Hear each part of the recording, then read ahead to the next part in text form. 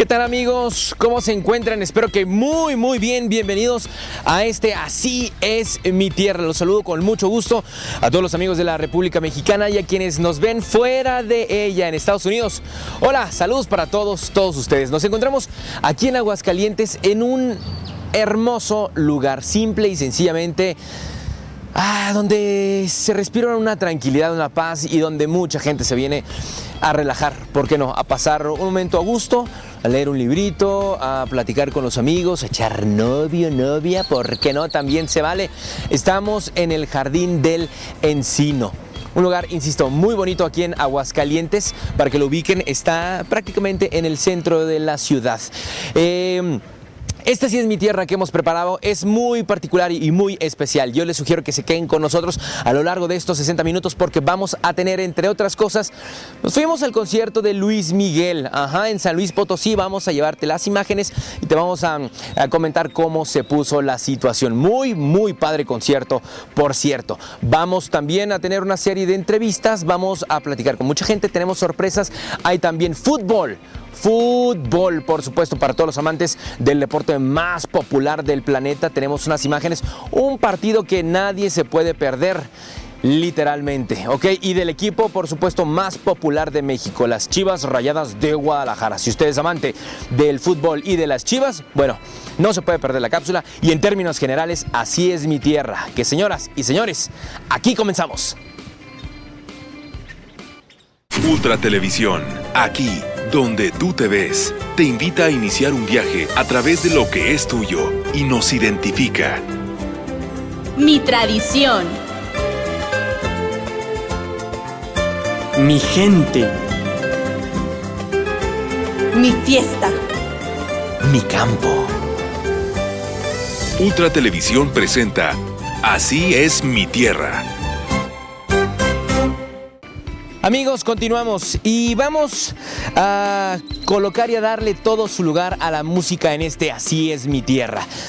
Y bueno, vamos a comenzar con un personaje mexicano, un músico, un chavo con mucho talento. Él es Carlos Owen, que ha buscado su lugar en la música. Es eh, un eh, gran compositor, es un chavo que básicamente ha sabido lo que es estar a duro y dale, a duro y dale en el mundo musical que no es sencillo, dicho sea de paso, pero que va abriendo camino y va abriéndolo muy, muy bien. Carlos Owen es eh, precisamente quien vamos a conocer un poquito más de su música. Chequemos el siguiente videoclip. Así es mi fiesta.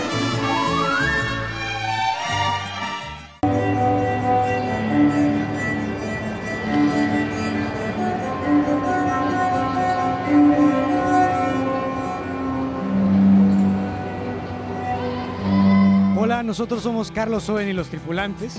Somos una banda de folk. Somos de la Ciudad de México, menos Dan, que es de Puebla y de Nueva Jersey. Eh, nos vamos a presentar aquí el día de hoy. Vamos a abrir el concierto a Jimena Sariñana. Somos una banda que tiene tocando juntos, pues vamos para un año. Antes tocaba yo por mi lado, como unos cuatro años. El proyecto ha ido tomando forma, se ha puesto mucho más divertido porque tocar solo es divertido, pero es como dominar el balón, ¿no? O sea, que ya, ya que tienes más jugadores, pues realmente se arma un partido. Camino lento y a la cima de llegar. Ensalada a la hora de cenar. Hola, yo soy Mau, yo toco el bajo eléctrico.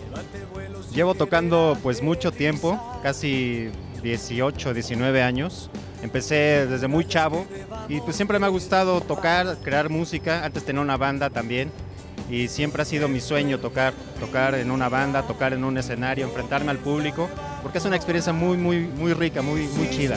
Vida, todo encuentra su lugar.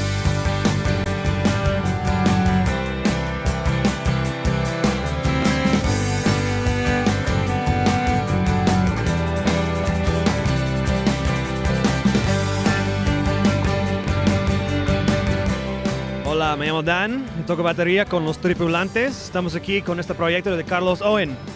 Eh, que me gusta de este proyecto es que, mm, de hecho, no somos músicos. Entonces ya, no es que no to- tocamos bien, pero es que tocamos, de corazón, de, todo, de las ganas de hacer algo. El cuerpo enfría,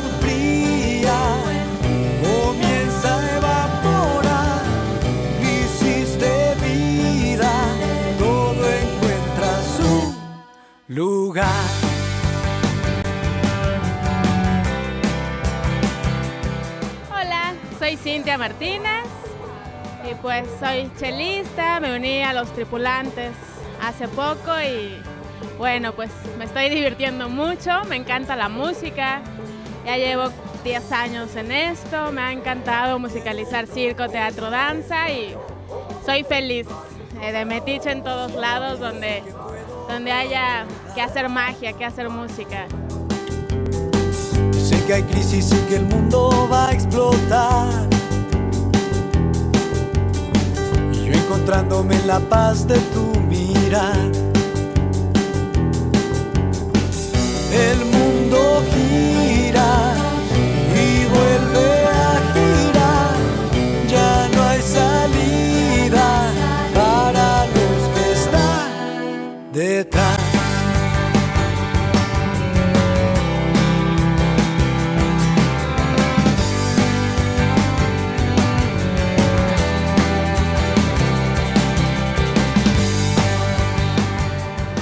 Las canciones las escribo.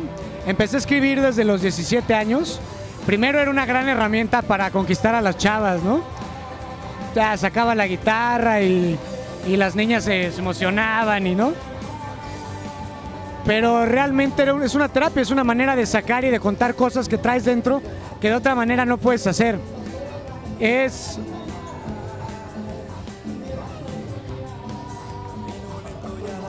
Yo creo que es como un ritual. Hay canciones que son de chiste, hay canciones de- que son de cosas que te gustaría que te pasaran, hay otras que son de cosas que te pasan. Ya hay otras canciones que son como rezos, ¿no? Tengo una canción que se llama A ti.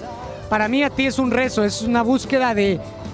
Esa, esa búsqueda de, de mí mismo, de querer decir, bueno, ¿quién realmente eres en esta vida, no? ¿No te gustó el abogado? ¿No te llenó? y escribí a ti.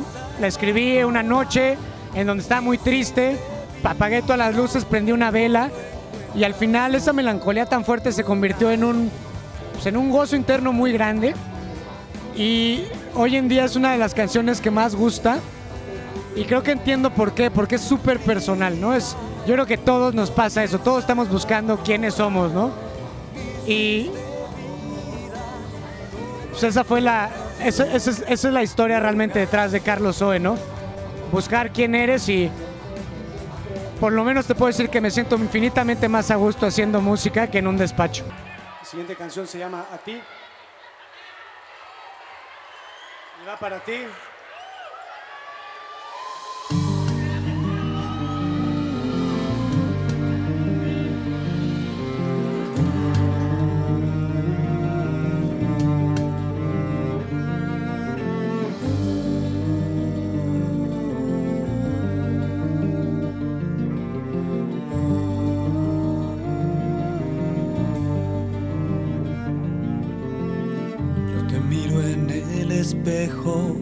Y te escucho palpitar. A veces te desconozco y no te quiero hablar. Y por las mañanas sonrío al despertar. La lucha comienza, no sé en dónde estás. Y como la llama alumbra la ciudad como la flama consume mi ansiedad. Te tengo que encontrar a ti.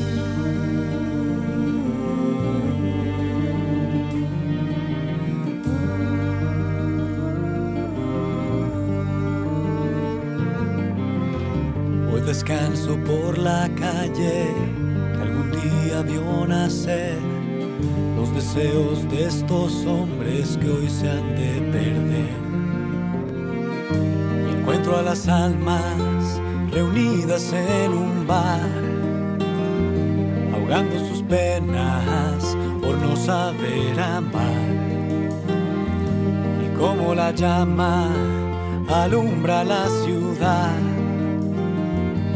como la flama consume mi ansiedad, te tengo que encontrar uh, a ti.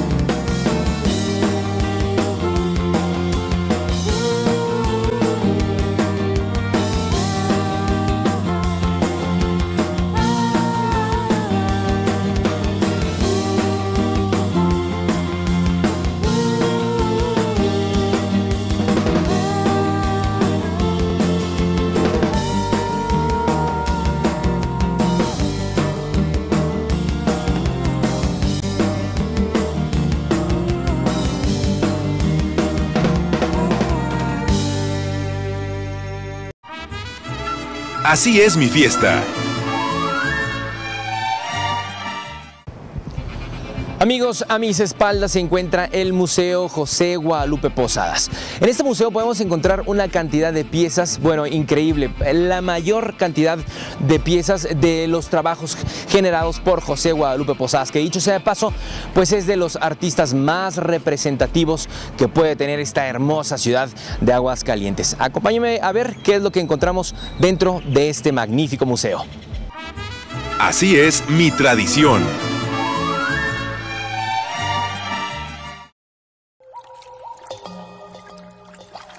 Contiguo al Templo del Encino, en lo que fuera la casa cultural de dicho templo, fue instalado el museo dedicado al famoso grabador aguascalentense José Guadalupe Posada, nacido en 1852.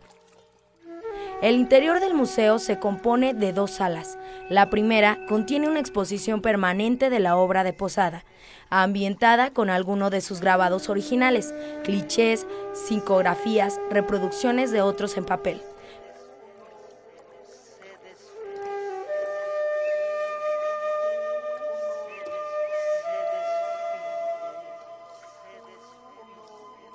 Posada fue un excelente grabador en metal. En su fructífera vida creadora fue perseguido y atacado, debido a que siempre enfatizó su temática haciendo crítica y denuncia de atrocidades e injusticias cometidas por el régimen que gobernaba el país.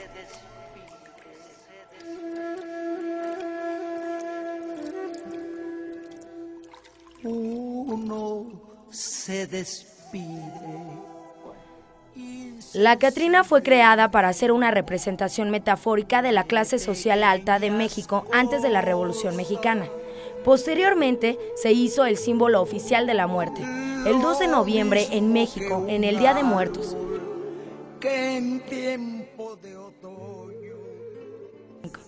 Esos grabados de José Guadalupe Posada tienen la finalidad de ejemplificar el sentido dramático pero irónico con el que representó a la muerte, característica siempre presente de la cultura mexicana. La muerte lenta de las simples cosas. Así es mi tradición. Al inicio del programa te platicamos que estuvimos en San Luis Potosí en el concierto de Luis Miguel. ¿Quieres saber qué pasó y cómo se puso? Bueno, no te lo puedes perder en unos minutos más ya. Es cuestión de un ratito, porque ahorita vamos a un corte y regresamos rapidito. Así es mi tierra. Continuamos.